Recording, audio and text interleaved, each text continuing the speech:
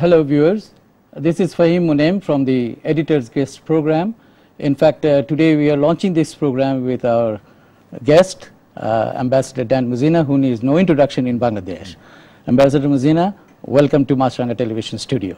Well, thank you, Fahim. I'm very happy to be here, and I'm very honored to be on your very first show. It's our pleasure, sir. Thank you. Uh, but before that, uh, Ambassador Mozena, uh, I would like to take this opportunity to convey through you our deepest condolences for the recent senseless tragedy that took place in Newtown, Connecticut.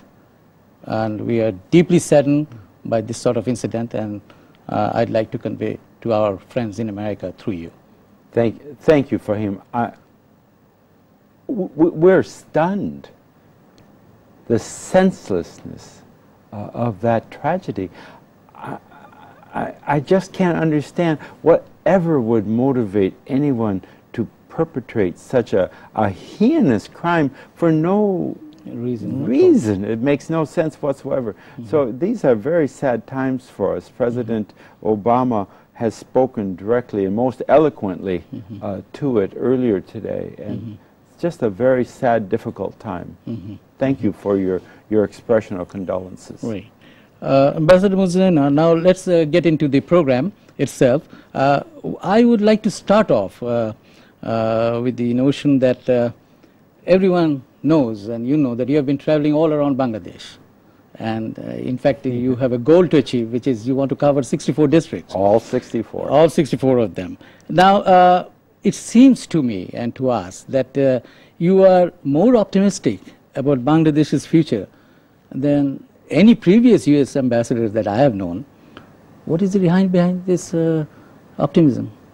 Oh, I, I think first thing I, I, I, would say is I'm the first American ambassador who is a retread. We call it retread. I've yeah. come back to Bangladesh. So I served here from 1998 to 2001. So I have an acquaintance with Bangladesh already. Mm -hmm. So when I came back a year ago mm -hmm. uh, in November, I, I had the foundation of, of Bangladesh. And now as I travel from Tetulia to Teknaf, and soon from Sylhet to Satkhira.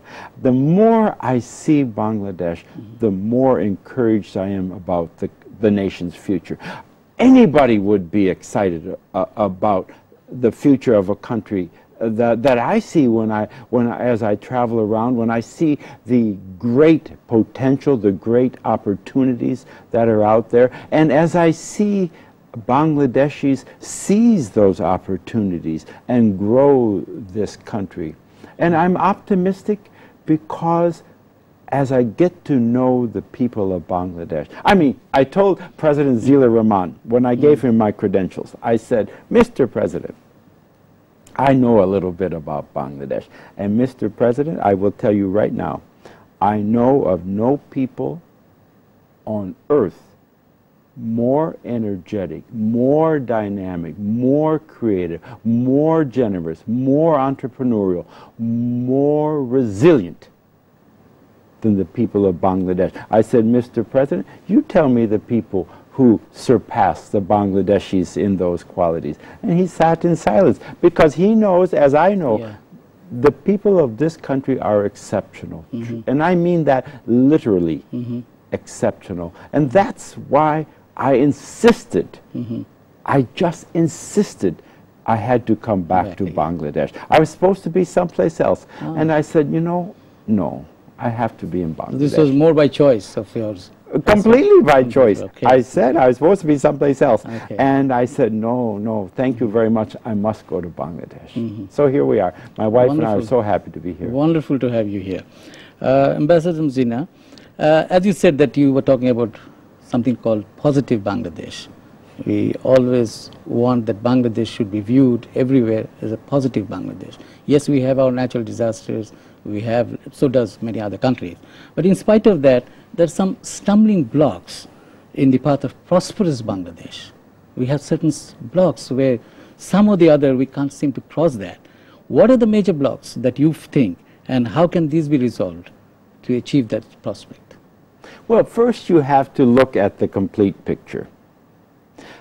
And my vision of Bangladesh is Bangladesh as the next Asian tiger. And I've spoken of this. Yes. I in, envision what I call the Royal Bengal tiger. Mm-hmm. Can you imagine the Royal Bengal tiger? Have you seen just one? Like, never. Okay. We, So we- I'm. o- I, this is in my imagination. My children have seen them, but I have not. But I see the Royal Bengal tiger strutting across the global economic stage, powerfully and proudly, and I see the next Asian tiger, Bangladesh, as the world's largest exporter of ready-made garments, the world's largest exporter of household textiles, a major player in pharmaceuticals, in building small freighters, in uh, footwear, in finished leather goods, in jute, in silk, in shrimp, frozen shrimp, in bone china. Oh, the list goes on and on. So that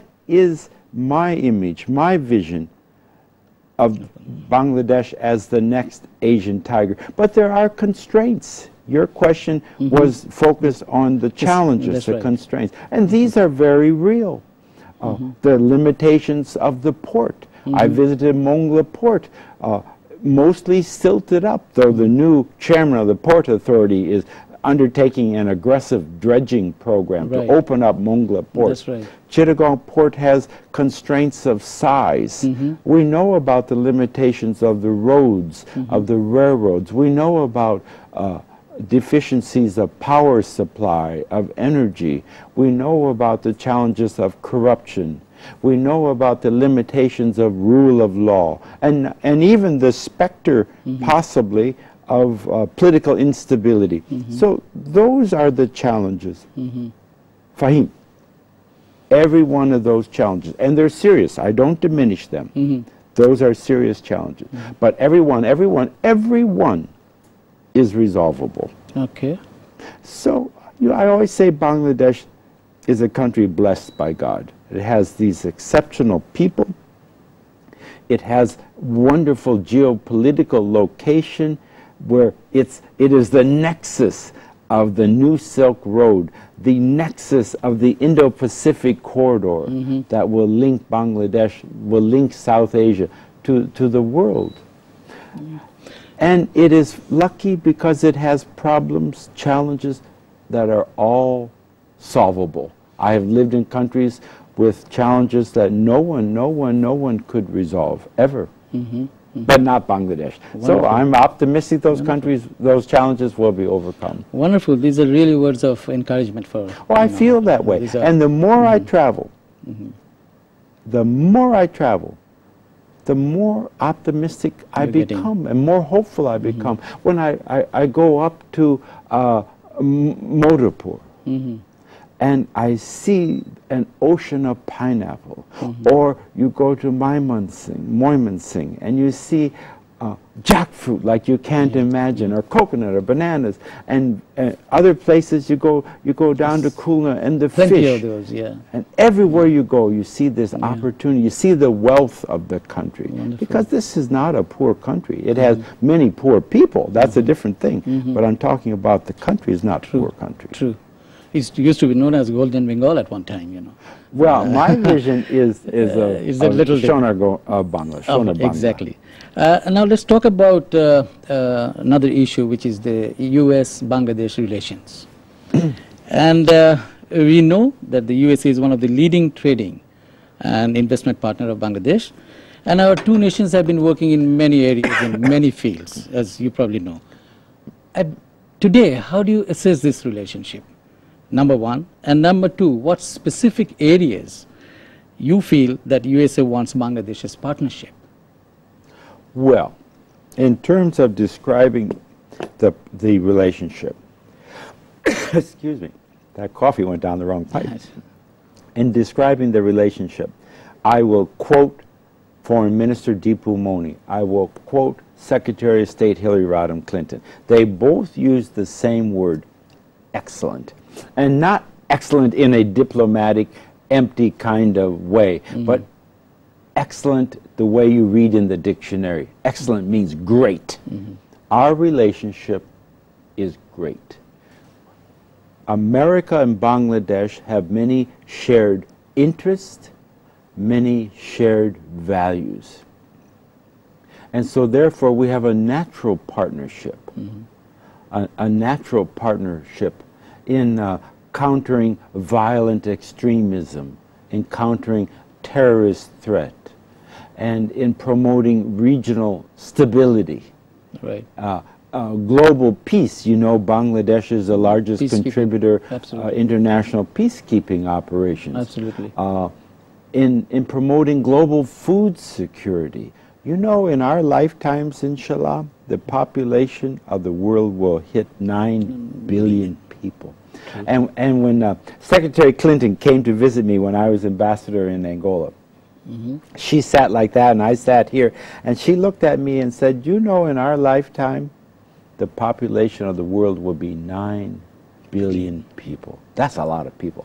And she said, "It is in the interest of America that those people can eat amply and nutritiously."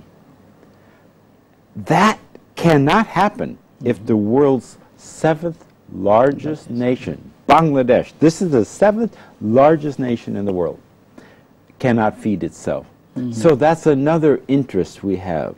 Mm-hmm. Uh, global food security. Mm-hmm. And then, of course, America has interest here relating to trade and investment, relating to values, democracy, respect for human rights. And we have a humanitarian interest.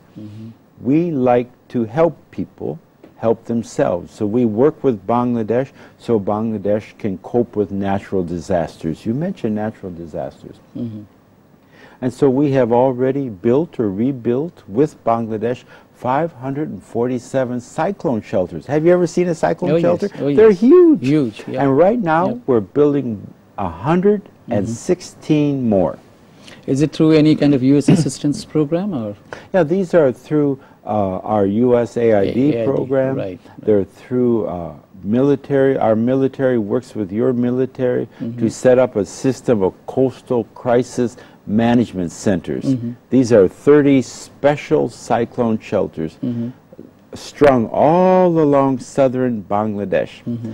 And these are set up with special communication capacity so that even when a cyclone hits, Hits it, yeah. the communications will not be interrupted. Mm-hmm. So immediately after the storm, Mm-hmm. the Coast Guard, which, the Bangladesh Coast Guard, which will man these Mm-hmm. special centers, can assess the damage Wonderful. and begin relief right. immediately, no delay. Right. Oh, this is very exciting. Fantastic, We're yeah. going to dedicate the first of these 30 coastal crisis management centers. I think it's in March, March of. Uh, maybe February or March, down in uh, Shangu. oh, in Shanggu Uh, area. down south I know of which uh, one you're Chittagong. about. Yes. Yes. And I hope to go down there myself. Wonderful, wonderful.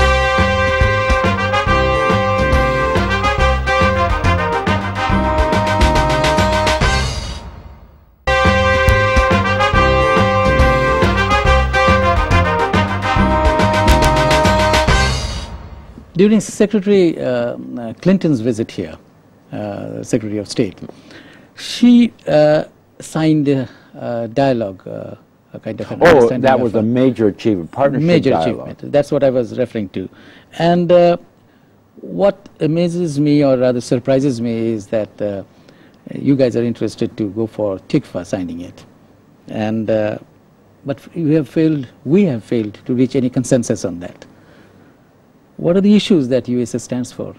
Why is it not well, taking place? I want to speak for a minute about the partnership dialogue. Sure. Because the partnership dialogue Sure. is a major step. And, and when I arrived here, November 19, 2011, I shared my, my agenda. Mm-hmm. And uh, part of my agenda was to have the secretary visit and to conclude some kind of agreement that would Mm-hmm. Establish a formal, regular dialogue between America and Bangladesh. And so they did that Mm-hmm. when the secretary visited in May. She and, and, and Foreign Minister Dipu Moni signed this, Yeah. and the Prime Minister watched them Yes, sign. yes, we all and then in watched. September, they held the first meeting of the partnership dialogue, and that was in Washington. Mm-hmm. It was a grand success.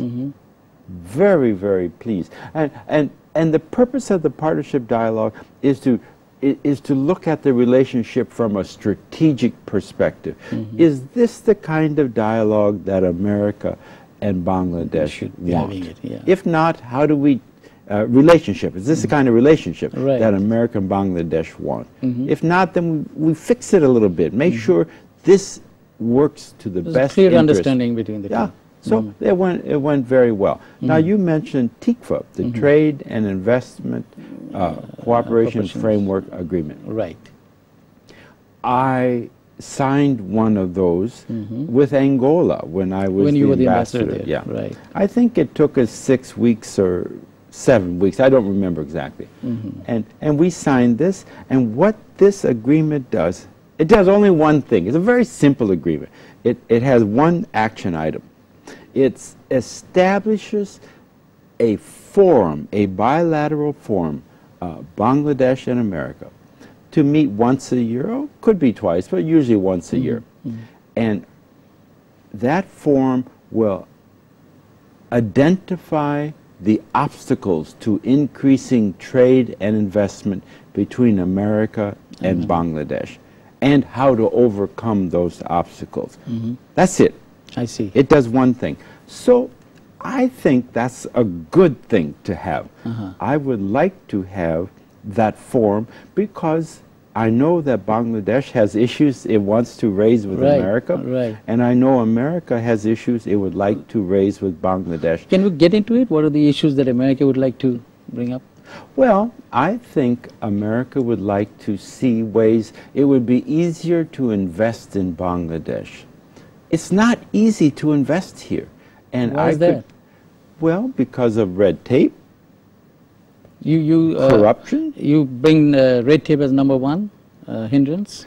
Oh, well, I'm not putting them You're not in putting in categories, I'm not okay. putting them in order. But for an, an investor to come here, there are there are obstacles. It takes forever. Mm-hmm. And I remember when I lived here last time, an American company, the largest manager of ports in the whole world, the name of that company was SSA, was mm-hmm. trying to invest in Chittagong and, and build a whole new terminal. Mm-hmm. It was trying to build a barge terminal mm-hmm. in Dhaka and a f- run a fleet of barges in between, so not rely on the road or the railroad connection to Dhaka. Right. Well, everybody said yes, but it never happened because it just got stuck from some political resistance from the Chittagong local area.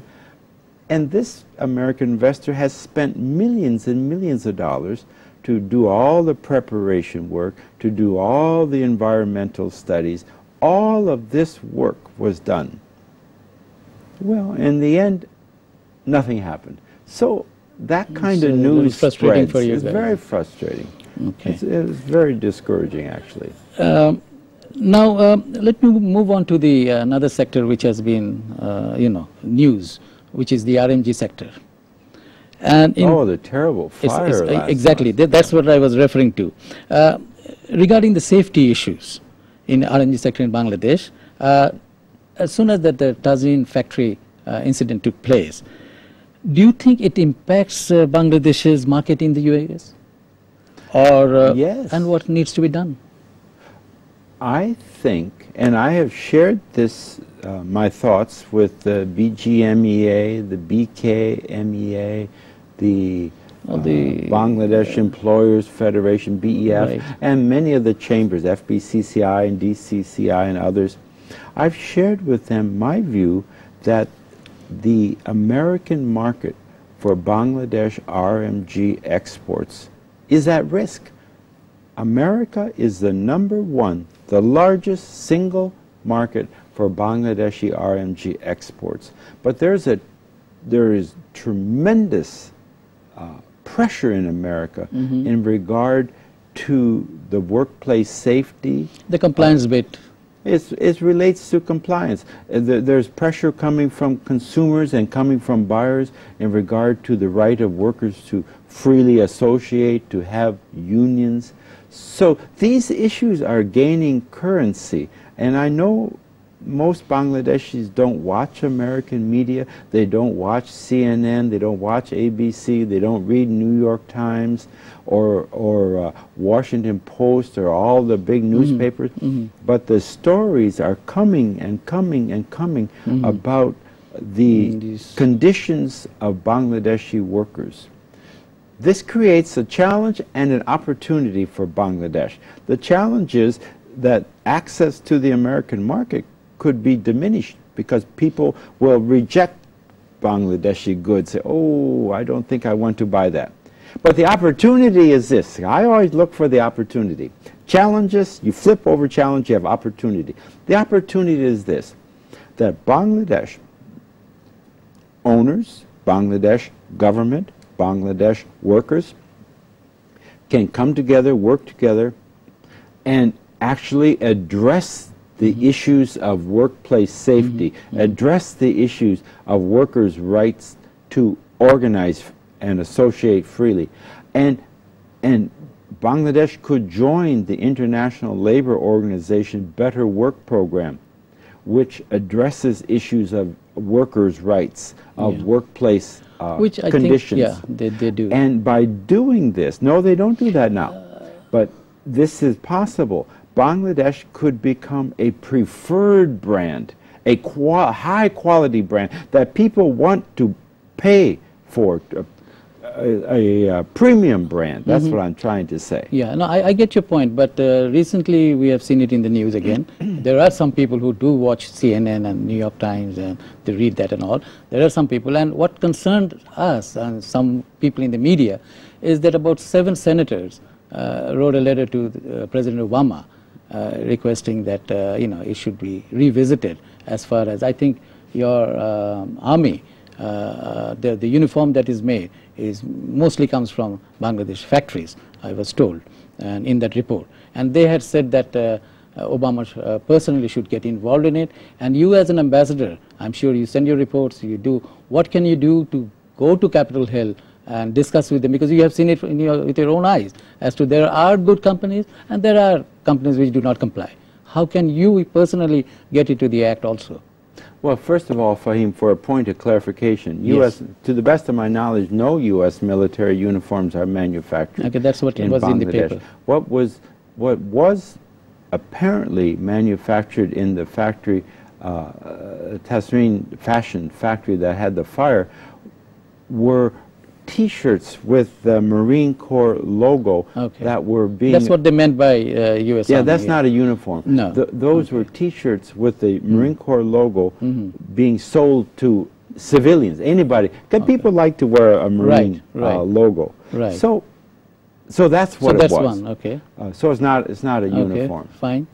But you're absolutely right. There is growing interest and growing concern on Capitol Hill in regard to the workplace conditions, in regard to workers' rights to freely associate and uh, organize. So what I can do, and what I have been doing, I told you how I reach out to all the True. segments, True. owners, buyers, government, workers, to try to make people aware of these dynamics in the American market. Look, Bangladesh is a free country. Mm-hmm. The government can do what it thinks is best for the interest of Bangladesh. Owners are private owners. They own their factories. They can do whatever they think is best. They don't have to listen to an American necessarily, ambassador. Buyers can do what they want. But let me tell you, there are dynamics going on in the United States that people should be aware of and should consider mm-hmm. as they make their decisions. They can mm-hmm. ignore them if they want. I mean, that's that's their privilege. Mm-hmm. Capitol. On, I go to every time I go back to Washington, I go to Capitol Hill Okay. and I meet with staff. Mm-hmm. You always want to meet with staff. Not don't worry about the members. You meet with their staff. Okay. And I reach out on both the Senate and the House of Representatives, and mm-hmm. I meet with staff. And we talk about Bangladesh, and they're very focused on Bangladesh. They're very focused on the issues I raised before about labor rights. Right. And, and that's why I want to work with Bangladesh to work through those issues. So though they're taken off the table as liabilities and become assets. Right, right. And, and create what I call the premium brand, brand Bangladesh. Mm-hmm. That people should fight to have items made in Bangladesh. And the day is not far, I believe. Well, I will never quit doing what I can. Uh, Ambassador Mozena, if you just, uh, as usual with all television channels, we'll just take a very short break and I'll be back after this break with you. Sure. Thank you.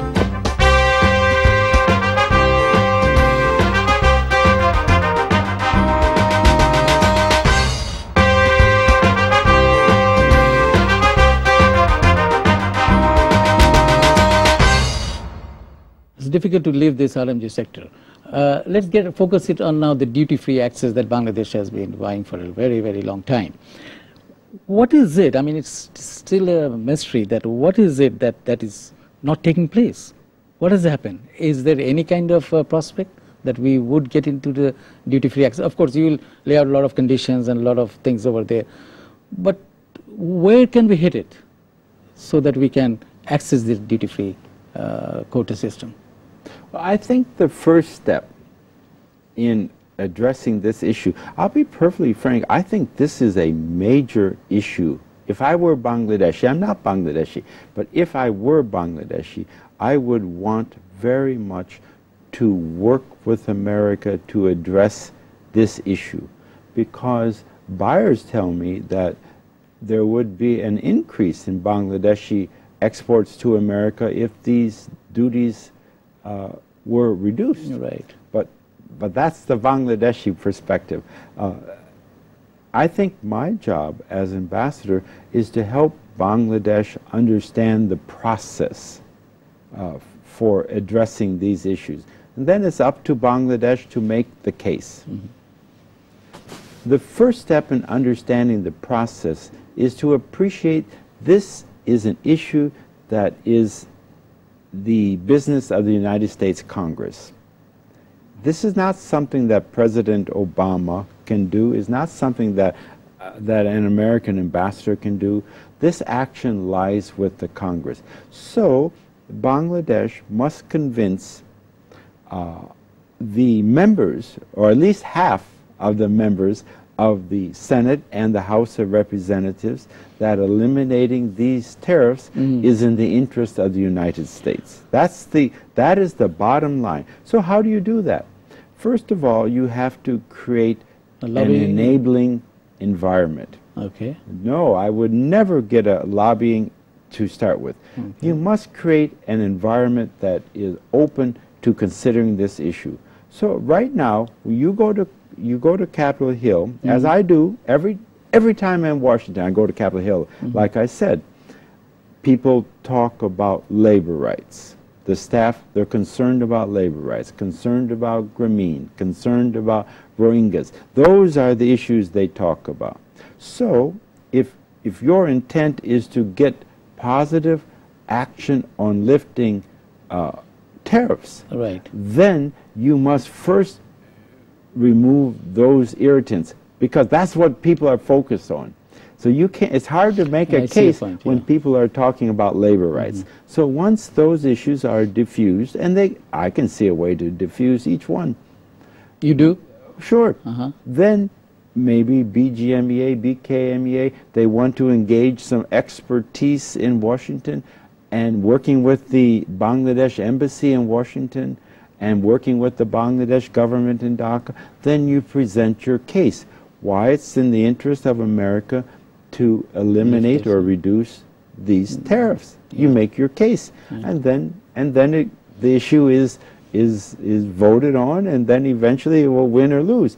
But but that's the approach. The case has use. to be made. Yeah. You okay. have to make the case, yeah. and it can be a very strong case. Mm -hmm. And uh, we did touch the subject of investment, which you said about the red tapeism and other things, the U.S. investment in Bangladesh. We did touch that. Uh, now I'm trying to move into a different area, which is how can you, as ambassador, U.S. ambassador here, uh, assure the Bangladeshi students, and there are many uh, who are studying in the United States, and uh, in fact, I was really surprised that this time a lot of uh, students didn't even come for the summer vacation because of the recent Nafis's incident, that if they come back, they won't be allowed back And how can you assure them that that was one of those incidents which had nothing to do with the U.S. immigration policy or that Bangladeshi students are, you know, free like any other students uh, anywhere in the world? Can you throw some light on that? Well, you don't have to listen to my words. Just look at the facts. The number of students, of Bangladeshi students studying in the United States uh, is increasing very rapidly, extremely rapidly. And I'm very pleased. My goal, starting from the base of, of 2011, I would like to see a, doubling or tripling of the number of Bangladeshi students in the United States. Uh, why not? The, the, there are about 3,000 there now. It should be 10,000. I would think within a decade should be 30,000. And the uh, visas uh, are, the, the issuance uh, is unchanged in the wake of, of the Nafis incident. You know, that's, that's one person who had his own agenda. I mean, that's a story in its own right. Mm -hmm. But uh, qualified students will continue to get visas to study in the United States. So that kind of assurance we can, uh, you know, uh, get it from you. That well, the numbers speak for themselves. They yeah, they do. But the increase. perception, uh, Ambassador, is that oh my God! I mean, can you imagine that uh, some kids didn't even come for summer vacation here, thinking that uh, they won't be allowed back. So I just thought, since I have you on this show, that maybe you can assure them that that's I not a problem. I think I've just given the okay, assurance wonderful. that qualified students will continue to get visas. Wonderful. Another area, which is uh, in the recent U.S. presidential elections, we have seen a number of Asian voters and a mm. lot of Bangladeshi voters and the uh, Bangladesh origin U.S. citizens. Uh, how do you see them in American politics? Well, Bangladeshi Americans number about half a million. Uh, and I have set for myself the goal of hunting them all down.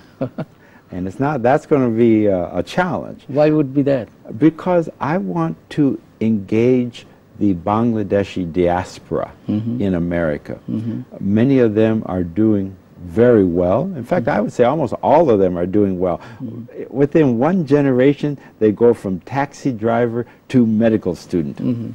And I would like to engage the diaspora to, uh, to uh, give back to Bangladesh, either through philanthropy or through investment because when they give back, they promote a prosperous Bangladesh. A prosperous Bangladesh is good for America, it's good for South Asia, mm -hmm. and especially good for the people of Bangladesh. I have to tell you, Fahim, in June, my wife and I went to New York. Mm -hmm. We rode in a taxi cab six times. Mm -hmm. Five times the driver looked in the rearview mirror and greeted me by name. Oh. So, of course, then we Probably started. he must have been watching Maasranga. Yeah, they yeah. watch Maasranga uh, television. Of course, it's only Maasranga they watch. Okay. And, and so they greet me by name, and then we start talking. And two of them had their children, one was in medical school, and I forget the other was in university someplace. But you know, in one generation, you go from taxi cab driver to a doctor. Right. I mean, this is how Bangladeshis do in America. And I traveled, I traveled to New York, I traveled to Portland, Oregon, I traveled uh, Washington, D.C., I went to Los, uh, mm -hmm. Los Angeles. Mm -hmm. Everywhere I go, I'm hunting down Bangladeshi Americans. Mm -hmm. And they are thriving, and they want to give back to Bangladesh and I want to help them do that. And they're also increasingly participating in the American political That's what I uh, wanted to process. Okay, that's good to and, and it's interesting to talk to them. See, I don't engage in domestic politics true, in the United true. States. Right. So when people start talking about that, then I sort of uh, shy you sort away. of shy away. But I know they're very much involved. Okay. Uh, and now uh, we are coming to the close of this program, but uh, I have two more questions. One is, why Bangladesh is so important to U.S. foreign policy? Can you please clarify, explain? In oh a, my goodness, yes. Why is it so important? When I served here, 1998 to 2001, Bangladesh was a country that people like me fell in love with. I'm just being honest. No, absolutely. But to be equally honest, Washington's focus maybe at that time was elsewhere. But September 11, 2001 happened, and then September 12, 2001, all of a sudden, oh my goodness, there's Bangladesh, right in the middle of the screen of strategically important countries. Mm -hmm. Because Bangladesh offers, uh, it is First of all, it is, like I said, the seventh largest country in the world. It is a moderate country, a tolerant country, a secular country, uh, a democratic country, and it offers a viable alternative to violent extremism in a very turbulent part of the world. So this is extremely important to, you to America. Mm -hmm. And then as Bangladesh improves its relations with India, with Nepal, Pakistan, uh, China, and now Burma, those uh, deepening ties improved stability in this region, region and right. that is important to America. I mentioned before how Bangladesh is the largest contributor of, inter, of yeah policemen, of police women, of right. soldiers to international peacekeeping. That matters to the United States of America. So mm -hmm. you can see why Bangladesh is important so the America. focus to Bangladesh uh, literally started after the 9-11 incident. Would you say well, that, the U.S. foreign policy? Would you say that? Bangladesh took on a strategic interest uh, uh, after 9-11. That, that was not there before. It was not there when I okay. served here before. Yeah, you were the political and economic counselor, I believe. yes. Time? Oh, I had a great job. Yeah, I know. I know. And I traveled uh, around the country then too. Uh-huh. Um, uh, Ambassador Mozena, um, we have come to the end of our program. But before that, uh, uh let me thank you for visiting oh, our TV station over here. I'm sure, uh, you know, our viewers must have uh, enjoyed the program. Oh, I hope so. And uh, you shared a lot of your views. We will continue doing so. And before that, I'd like to uh, request you if you want to say anything to our viewers in Bangladesh oh, and elsewhere. I would say that this is an amazing country. I have so much faith in, in Bangladesh. This is the country of the future.